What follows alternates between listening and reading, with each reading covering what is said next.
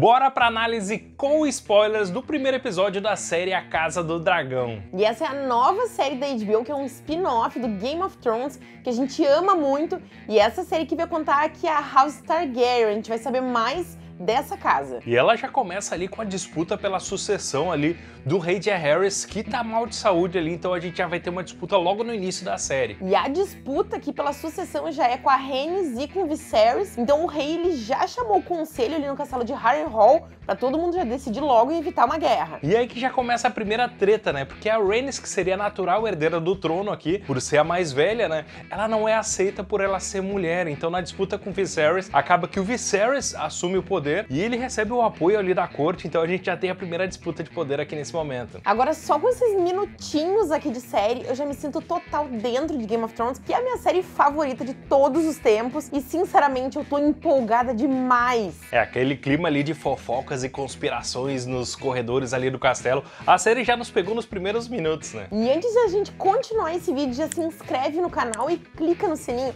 para não perder nenhum dos nossos vídeos, se inscreva em todas as nossas redes sociais, a gente tem Instagram, TikTok, bora se inscrever. E quero lembrar vocês também de dar like nesse vídeo aqui e lembrar também que vocês podem ser membros apoiadores do Bulldog Nerd e com isso ter acesso a benefícios exclusivos aqui do canal. E voltando agora a falar da série, o que foi aquela frase do Jay Harris falando assim que a, a única coisa que destruiria a Casa do Dragão seria ela mesma. Gente, eu fiquei toda arrepiada. Ele sabia que se ele não chamasse o conselho ali pra resolver ver essa situação, provavelmente ia chegar em guerra. É, a Gabi falando do conselho, eu me lembrei como é legal a gente ver a Fortaleza Vermelha ali, Porto Real no auge, os dragões ali de volta em pleno poder, chegar a arrepiar. Para quem é fã de Game of Thrones, esses momentos assim, esse início da série A Casa do Dragão é de arrepiar. E aí a série já apresenta um salto temporal, a gente já tem a Renira grande aqui, ela já cresceu e ela começa a flertar com a ideia de explorar o mundo. Quando ela tá servindo a bebida ali pro conselho, pro Viserys, o pai dela, ela acaba ouvindo um pouco sobre toda a treta política política, ela já fica interessada. Então a série já começa a apresentar essa personagem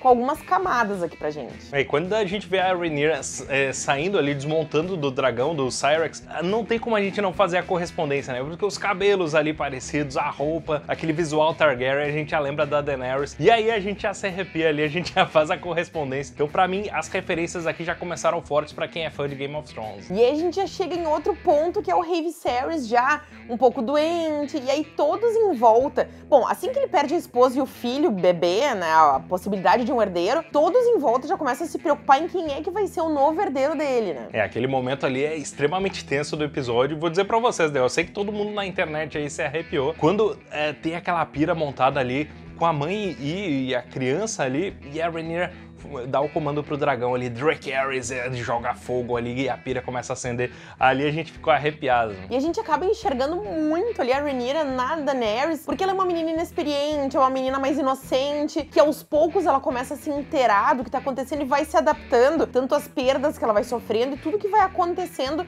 nesse jogo político, nessa treta toda de trono, né? É, porque justamente ela vai cair numa disputa ali de novo de trono, né? Porque o Viserys tem como dois herdeiros, é, os mais naturais, vamos dizer assim, que é ela, a filha, né? Que é a Rhaenyra, e o irmão problemático que é o Daemon. E esse episódio eu achei completamente demais, assim, eu tô completamente apaixonada. Então, assim, nesse primeiro episódio, a série já construiu aqui uma base para tudo que vai acontecer, para todas as personalidades daqueles personagens ali, todas as tretas que vão rolar.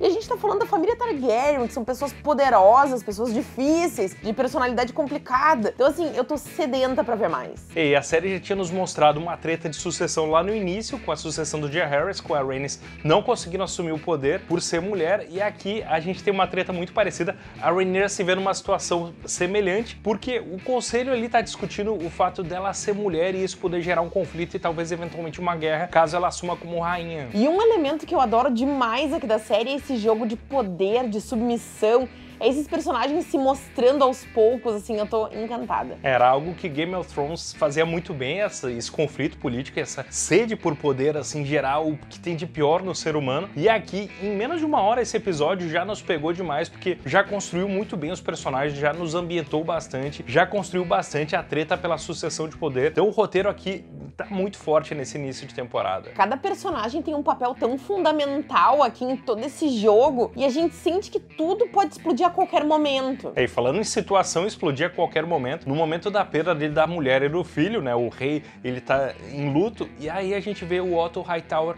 mandando a filha dele, a Alicent, pro quarto, pra câmara do rei, para consolar o rei naquele momento de fraqueza. Que loucura, hein? Seguinte, essa relação aí vai render demais. A gente tem que ficar muito atento aqui nesses personagens, em toda a mudança que vai rolar por ali com o Viserys, com essa relação com a Alicent. Então, meu Deus, tô nervosa. É o que legal aqui que o roteiro trabalha bem, como o roteiro de Game of Thrones também trabalhava bem, que é essa história de os personagens eles agirem em silêncio, se portando como eles devem em determinada situação, mas pelos bastidores trabalhando e agindo. Então a, a, a gente vê que a ação rola muito nos bastidores e a gente vê que tudo ali tem potencial para dar treta. E aqueles planos abertos mostrando aquela vastidão toda. E uma coisa que eu adoro, que é uma marca aqui de Game of Thrones e agora de A Casa do Dragão, é aquela câmera viajando pelos castelos, por aqueles lugares incríveis. É, a Gabi falou aqui de alguns aspectos técnicos, né? Eu acho que a gente tem que elogiar bastante também aqui as transições, edições e o trabalho de montagem que tá espetacular. Já chamar atenção para uma das cenas que eu achei das melhores em termos de edição aqui, que é aquele momento em que ela tá dando a luz ali, a, a criança, a gente sabe que é, uma, é um parto difícil ali, e aí a câmera e a edição começa a cortar para o momento em que o Damon tá naquele torneio de justa, extremamente violento. A gente sabe que são momentos conflitantes no nascimento daquela criança que pode ser o novo herdeiro e o Damon que tá ali pleiteando o trono, e aí a câmera vai cortando e a gente vai ficando tenso. O trabalho aqui técnico é genial. Incrível, absolutamente incrível. Enquanto a gente tinha aquele bebê tentando nascer, todo mundo se envolvendo para fazer ele nascer e ser o novo herdeiro, o Damon tava caindo do cavalo e tomando porrada. Daqui a pouco o bebê morre e a gente vê o Damon se reerguendo assim, os símbolos que tem ali, assim, toda a parte simbólica daqui é muito incrível. É muito legal o significado dessas cenas, assim, e como a edição e a montagem ajudam muito na metáfora que a gente tá criando aqui pro conflito da casa Targaryen. A própria atitude ali do Daemon de fechar aquele bordel ali e comemorar a morte do bebê mostra que, assim, que ele não tá nem aí, que ele tá, assim, sedento pelo poder, que ele não tem medo de nada e que ele vai para cima. É, já sentindo um pouco desse clima, né, o Viserys ali, o rei, ele já prepara para o conselho e todo mundo ali da corte, fazendo o juramento, já mostrando para todo mundo que ele quer a Rhaenyra como herdeira do trono. E a gente já tá pronto para defender a Rhaenyrazinha. Ai de quem encostar nela. Bom, e aí outro ponto muito legal aqui desse, desse início de temporada é o CGI que já tá de alto nível, a série já começa com alto orçamento, então a gente tem voo de dragão ali, aquela movimentação dos dragões ali sem reparo, só sensacional. E todo o detalhamento ali do figurino, são muitos detalhes, detalhes muito ricos, que se tu para pra analisar cada cena, assim, é de cair o queixo. É, a gente tem aqueles detalhes ali dos bordados das roupas ali dos Targaryen, com aquelas temáticas de dragão ali, tanto na, na roupa ali, quanto no elmo, nas armaduras. Tem aquele elmo ali do Daemon que eu achei espetacular, com as asas ali, as escamas de dragão. Espetacular. Nesses pequenos detalhes é que a gente vê que a série tá, em termos técnicos, com um cuidado muito bom da equipe. E para não fugir ali do padrão de GOT, a série traz bastante nudez, bastante cenas de sexo, que eu acho que combinam bem ali com o episódio. E assim, a série também traz bastante violência, o que já é bem esperado aqui pra série. É, trouxe aquele pacote completo pra gente já ficar no hype pro próximo episódio. E vou dizer pra vocês que já tá difícil de segurar a ansiedade pra semana que vem. A gente tá louco pra fazer já nosso vídeo de análise aqui do episódio 2, tô louco pra assistir esse episódio. E aquela música de Game of Thrones no final do episódio é pra enlouquecer a gente já ficou com a sensação de que a gente vai ter cenas absolutamente épicas pro futuro aqui dos próximos episódios. Então, assim, como o Lolo falou, a ansiedade tá a mil. Bom, galera, agora a gente quer saber a opinião de vocês, o que, que vocês acharam desse começo de temporada de A Casa do Dragão. Quero lembrar pra vocês também que agora a gente tem uma opção nova aqui no canal, que é o botão Valeu, caso vocês queiram apoiar financeiramente o canal, se vocês gostaram aqui desse vídeo, né? Galera, a gente vai ficando por aqui, valeu demais por terem assistido esse vídeo e até a próxima!